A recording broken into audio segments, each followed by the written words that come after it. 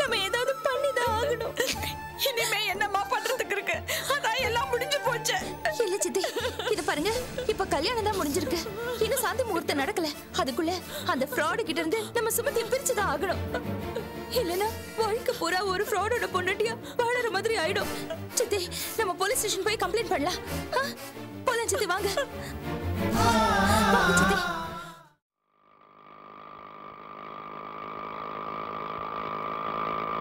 ஆ, நிறுத்துங்க நிறுத்துங்க. வாங்க சித்தி. நீங்க நினைச்ச முடியும்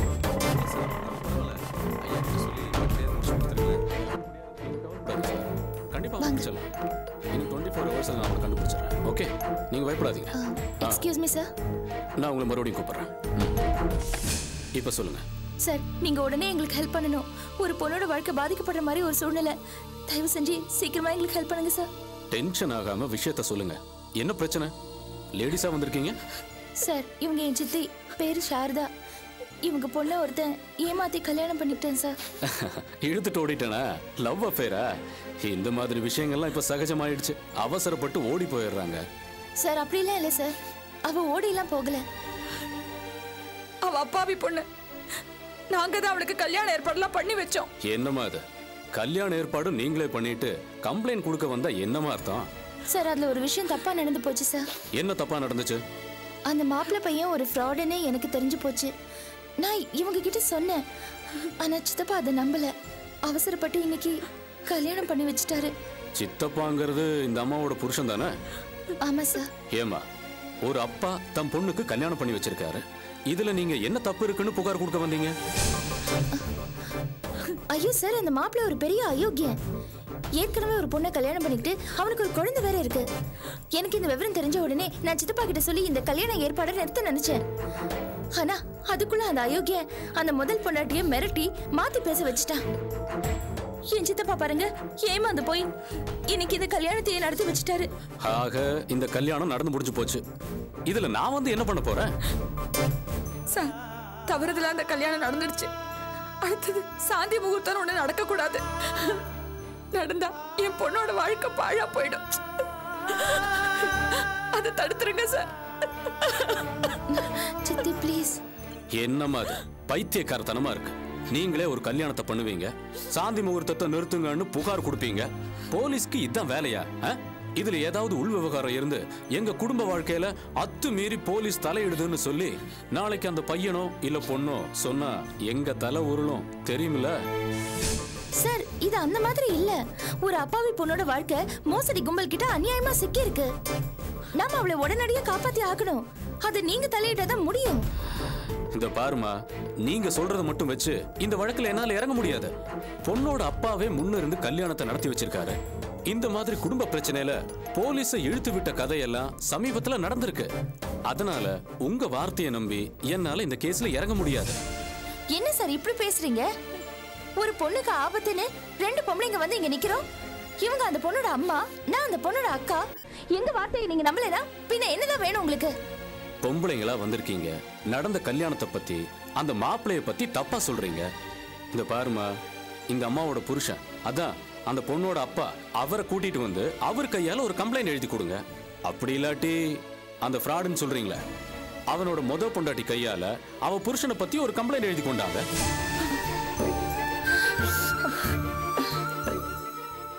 இத பாருங்கம்மா இந்த மாதிரி விஷயங்கள்ல முறையான காரணம் இல்லாம எங்களால இறங்க முடியாது.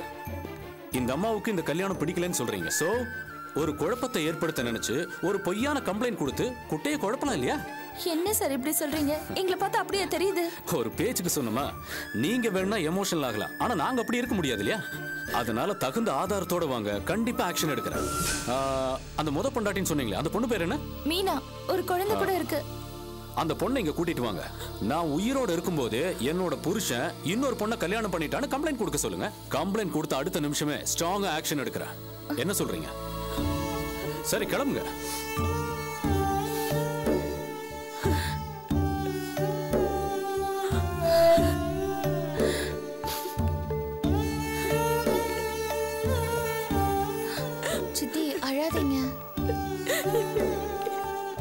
அபி இப்போ மீனாவை போய் நாம எங்க தேடுறது? எப்படியாவது தேடி கண்டுபிடிச்சிடலாம் சித்தி. நீங்க அழாதீங்க ப்ளீஸ் அழாதீங்க சித்தி. மேடம் வணக்கம் மேடம். வாங்க மேஸ்திரி. உங்களை பார்க்கறதுக்காக தான் வந்தேன். என்ன விஷயம்? மீனாவையும் உங்க அம்மாவையும் இந்த ரவுடி பசங்க மிரட்டியிருக்காங்க அவங்க ஊரை விட்டு போகல. எனக்கு வேண்டிய ஒரு இடத்துல பத்திரமா இருக்காங்க. ஆமா வாங்க மேடம். அங்க கூட்டு போக தான் வந்திருக்கேன். வாங்க வாங்க. அவங்க இப்ப அங்க நான் இருப்பாங்களா தானமா கொண்டு போய் விட்டேன். இருப்பாங்க வாங்க. வாங்க போலாம். மேஸ்திரி இங்க ஒரு ஆட்டோ இருந்தா சீக்கிரம் நான். முடிச்சு தரமா வாங்க வாங்க வாங்க.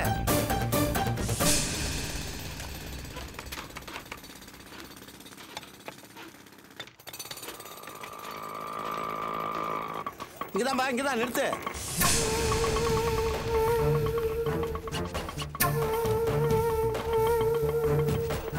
அம்மா வாங்கம்மா. பண்ணுங்க. வாங்க.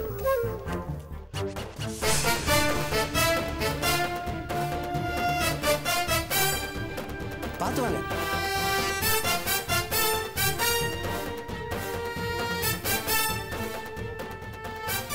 ஏ கல்லையா?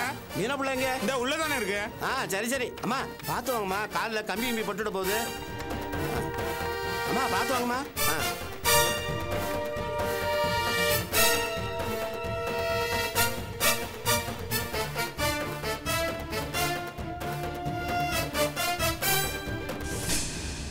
நீங்க இங்கேயே இருங்க. அந்த புள்ள உள்ள இருக்கான்னு பார்த்துட்டு வரேன்.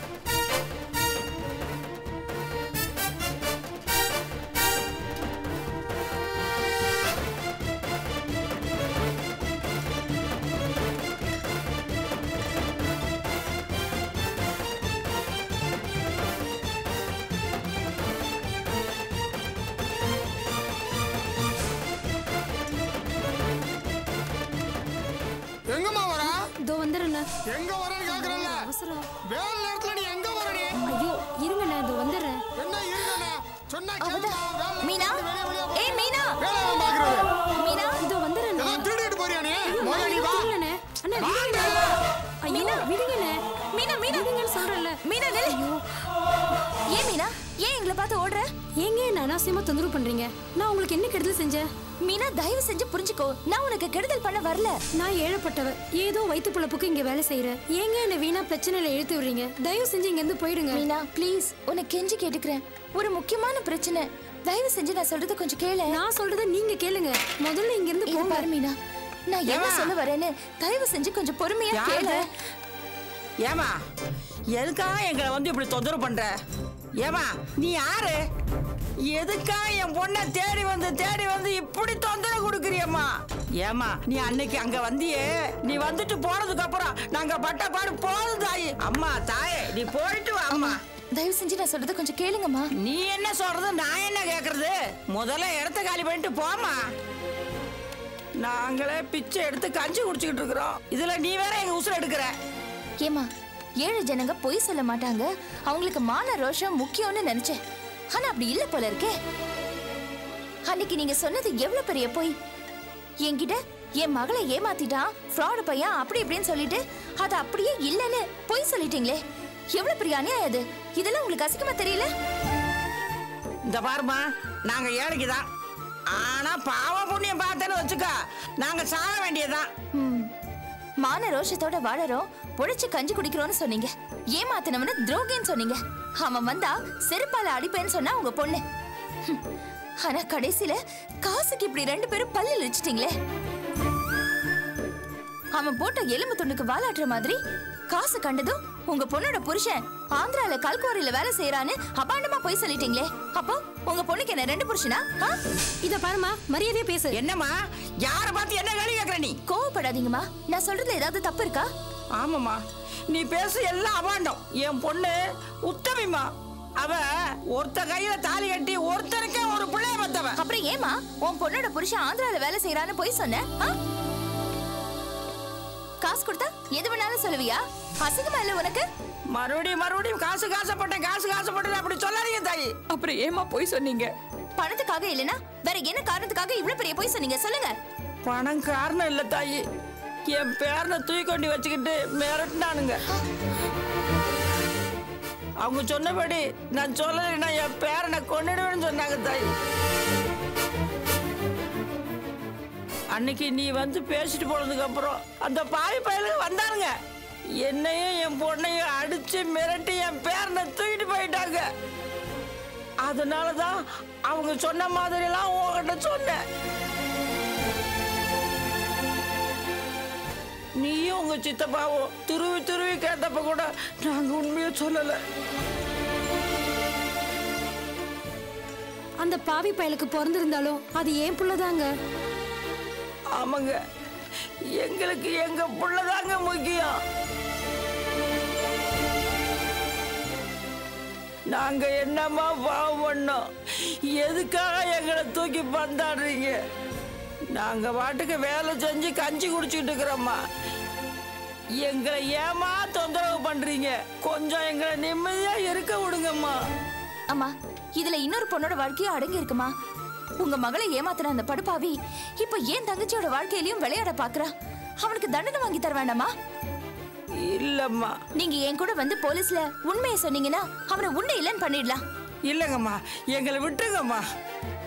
தயவு செஞ்சு யோசிச்சு பாருங்க. அவனை விட்டு வைக்கிறதுல என்னைக்கு இருந்தாலும் உங்களுக்கும் ஆபத்து தானே? அந்த பாவி மகன் ஒரு போட்டா இருந்துச்சும்மா. அதையும் தூக்கிட்டு போயிட்டாம்மா. தயவு செய்து நீங்க போயிடுங்கம்மா. நாங்க எந்த வம்பலையும் மாட்ட விரும்பல. எங்களை விட்டுருங்க தாய். என்னம்மா பேசுறீங்க நீங்க? அவனை அப்படியே விட்டுறதா? பழி வாங்க வேண்டாமா? வேண்டாம்மா. எங்க பொழப்ப கெடுத்துடாதீங்கம்மா. நீங்க எங்க எங்க கூட்டு போனாலும் உண்மையே சொல்ல மாட்டோம். இந்த பாருமா இனிமேல் எங்களை தேடாதீங்க. நாங்க இந்த ஊரை விட்டா போயிடுறோம்மா. அம்மா கும்பிடுறோம்மா. ஏய் அம்மாடி அம்மா நான் சொல்றது கொஞ்சம் கேளுங்க. அம்மா.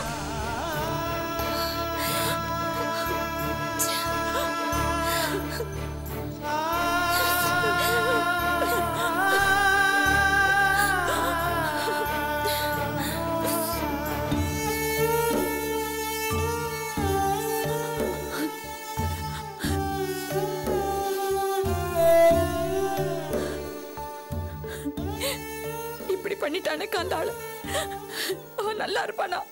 விளங்குவானா? சித்தி என்ன சித்தி இப்படி பேசுறீங்க? வேற எப்படிம்மா பேசுறது? இனிமே அந்த ஆளுக்கு என்ன மரியாதை வேண்டியிருக்கு? நீங்க அப்படியே விட்டுருக்க கூடாது சித்தி. நல்ல சண்டை போட்டிருக்கணும். என்ன பண்றது? நான் பொம்பளையா பிறந்துட்டேன்னு என் கண் முன்னாலேயே என் பொண்ண கார்ல ஏத்தி கொண்டு போயிட்டானே அந்த ஆளு. பெத்த அப்பா மாதிரி நடந்துக்கிட்டான் ஏதோ கடத்தல்கார மாதிரி எல்லாத்தையும் பண்ணிட்டான். அவன் விளங்கவே மாட்டான். உன் புருஷனை நீயே இப்படி திட்டாத சாரதா? என்ன கண்ணி என் கொல்ல பத்திரத்துக்கா நான் இப்படி கத்திட்டாம இருப்பேன். நான் இவ்வளவு சொல்லி கேட்காம கல்யாணத்தை பண்ணி வச்சு என் பொண்ணு என்கிட்ட வரவிடாம கொண்டு போயிட்டானே.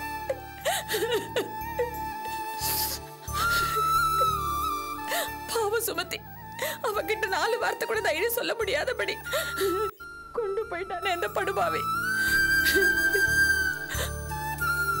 ரவுடிகளா சேர்ந்து என் பொண்ணோட வாழ்க்கை சீரழிச்ச மாதிரி அடிச்சுக்க அந்த கல்யாணம். அது கல்யாணமே இல்லக்கா.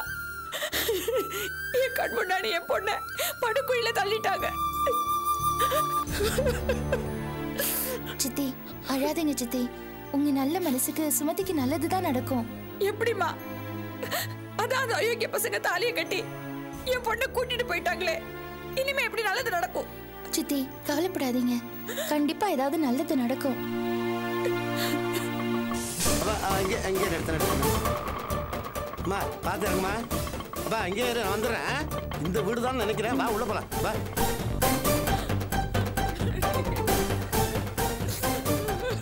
சித்தி அழாதீங்க சித்தி.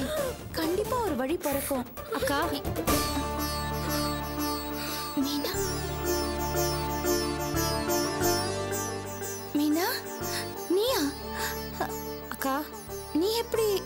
என்னை மன்னிச்சிடுங்கக்கா.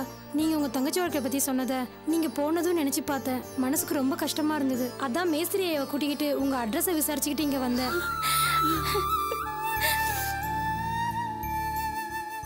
அக்கா நாங்க ஏழைங்கக்கா. எங்களுக்குன்னு எந்த ஆதரவும் கிடையாது. எங்க உயிருக்கு எந்த உத்தரவாதமும் கிடையாது. அந்த பயத்தோட தான் நாங்க வாழ்ந்துகிட்டு இருக்கோம். அவனுங்களை எதிர்த்தா எங்களை கொண்டு போட்டுருவாங்கன்ற பயத்துல தான் நாங்க இருக்கோம். நீங்க போன பிறகு எங்க அம்மா கிட்ட பேசினேன். கண்ணு முன்னாடியே இன்னொரு பொண்ணு வாழ்க்கையும் கெட்டு போக வேண்டாம். அந்த பாவம் நம்மள தான் வந்து சேரும். அந்த பொண்ணை காப்பாத்துறது நம்ம கடமைன்னு தோணுச்சு. அதான் வந்தேன் என்ன நடந்தாலும் பரவாயில்ல. உங்களுக்கு உதவி பண்ணணுங்கிற முடிவோட தான் நான் இங்க வந்திருக்கேன். நான் இந்த விஷயத்தை எங்க வேணாலும் வந்து சொல்றேன். உனக்கு ரொம்ப புண்ணியமா போகுமா? மீனா எனக்கு ரொம்ப சந்தோஷமா இருக்கு. உன்னை நான் பாத்துக்கிறேன். பயப்படாத. சொல்லுங்கக்கா இப்போ நான் என்ன பண்ணணும்? அ, சித்தி நம்ம உடனே போலீஸ் ஸ்டேஷன் போலாம். இந்த நேரத்துலயா? ஆமாமா நாங்க போயிட்டு வந்துருவோம். மனோ நீ என் கூட வா. சரிக்கா. மாமா பர்ஸ் எடுங்க. போட்டுமா இந்த அவி வா மனா போலாம். வாங்க. வரேன்க்கா. வா மீனா போலாம். போயிட்டு வந்துடுறேம்மா.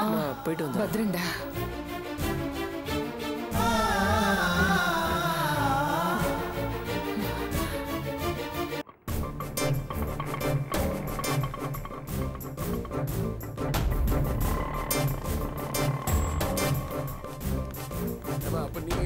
போறீங்க எக்ஸ்கியூஸ் மீ சார் சார் இல்ல சார் இங்க தான் இருந்தாரு அதோ வராரு பாருங்க. சார் இவங்க தான் சார் அந்த ஃப்ராடோட பொண்டாட்டி. எந்த ஃப்ராடு சார் அதான் காலையில உங்ககிட்ட சொன்னேனே.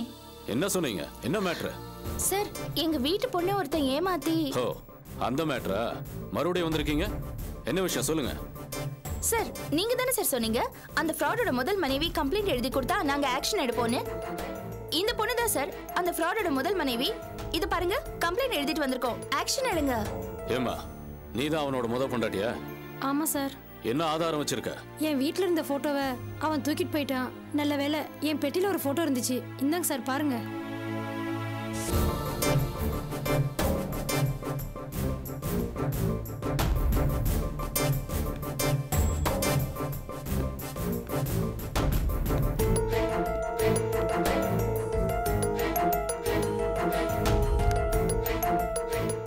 இதெல்லாம் ஒரு எவிடன்ஸ்னு நான் எப்படி எடுத்துக்க முடியும்?